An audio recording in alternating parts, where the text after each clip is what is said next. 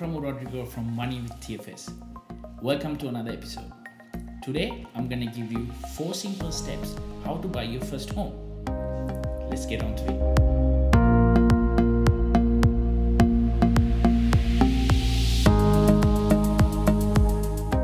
Step number one save a deposit.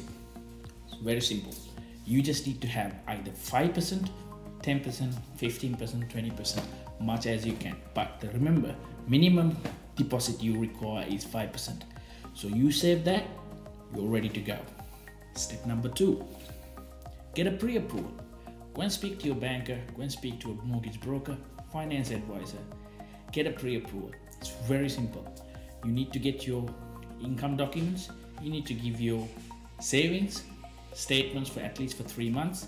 You need to give your liabilities, whatever the liabilities you have, get that pre approval in your hand. Very important. Now remember, there are certain pre approvals may not gonna help you, which is just a pre approval that you will get from the desktop, from a banker or from a mortgage broker. That won't actually help you.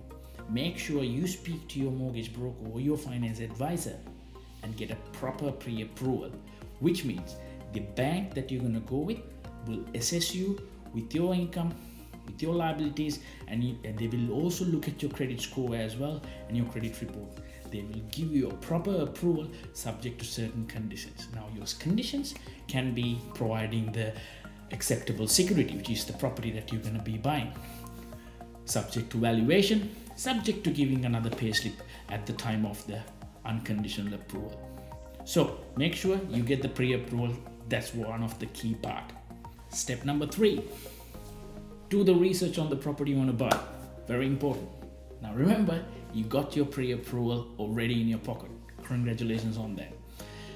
One of the key things is one of the biggest mistakes a lot of people do in this market is just as soon as they get the pre approval, they quickly go and buy whatever the property they think they buy.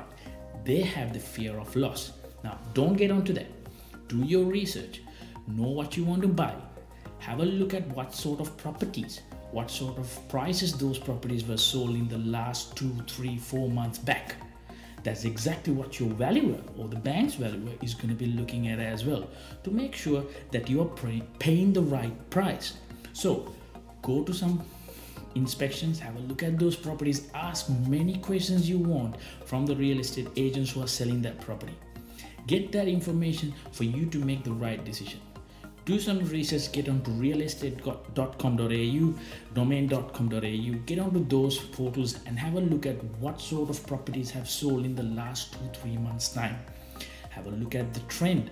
Have a look at the how what was the price point of a three bedder versus a four bedder have a look at the sizes of those land versus versus what sort of features and and fixtures that those properties have been have, was sold had had.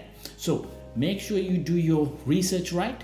Be ready for the property that you want to buy. Let's get into the step number four. Here we go. Step number four. The crucial one or i would say the most exciting part making an offer for the property that you really like. Remember you got your deposit sorted. You got your pre-approval sorted. You've done enough research. You know exactly what you want to buy.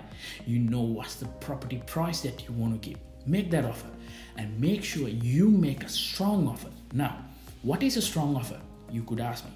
A strong offer is using your pre approval, the conditions that the bank has given you. Use those conditions as the conditions you want to put to your offer. Now, if you have given if you have given a approval subject to the valuation of the property subject to giving the contract of sale of the property by all means go for it. Say, you know what, Mr. Real Estate Agent, I like to buy this property. I'm going to pay you this amount of money subject to valuation. You happy? Go for it. Now that's how you make a good offer on a property that you really like. Now, work with your real estate agents who's selling that property because that person can actually help you to make a strong offer too. So, guys, remember the four steps I gave you? Save your deposit 5% or much as you can. Get a pre-approval. Make sure it's a proper pre-approval. Do the research on the property you want to buy and make that offer. Congratulations you just bought your first home. All right guys. Thank you for your time. Until next time please subscribe to our channel. And if you like this video give give a thumbs up to it. All right fellas. Take care